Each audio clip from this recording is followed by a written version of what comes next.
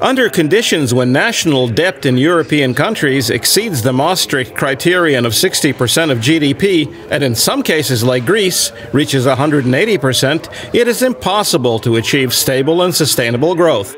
European governments, therefore, must seek ways to rein in national debt and reduce it. This was the conclusion reached at the Bank of Latvia's annual conference with the theme Quo Vadis Europe? Instead of stimulating the economy, more debt is actually working the opposite direction. It's actually hurting growth because it increases uncertainty about the future course of fiscal policy. So the private businesses become concerned that there may be tax increases the, on the way coming in the future. So this is uncertainty which certainly discourages further investment and as a result of delayed investment what we get is basically that the potential growth rate of the economy goes down.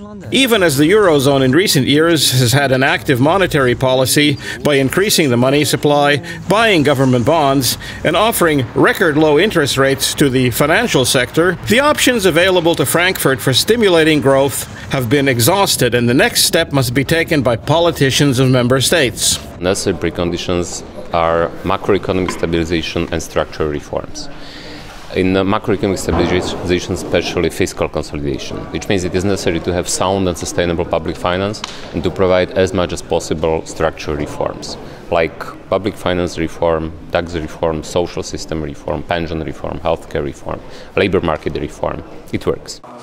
To implement these reforms, one needs political will, but there seems to be a lack of it among contemporary European politicians.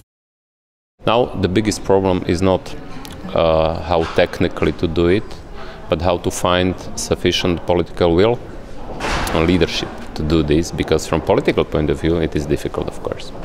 One should add that political will is lacking not only for reforms, but also for respecting previously adopted rules, the conference speaker said.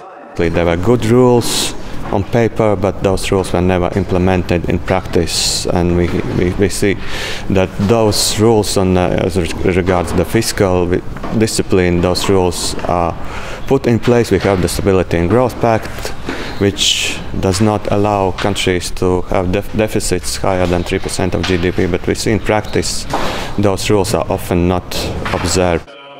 It should be noted that there are only six relatively small economies in the Eurozone that meet the criterion of the Maastricht Treaty that a state shall not have debt exceeding 60% of GDP. These countries are Finland, Slovakia, Luxembourg, and the three Baltic countries, Estonia, Latvia, and Lithuania.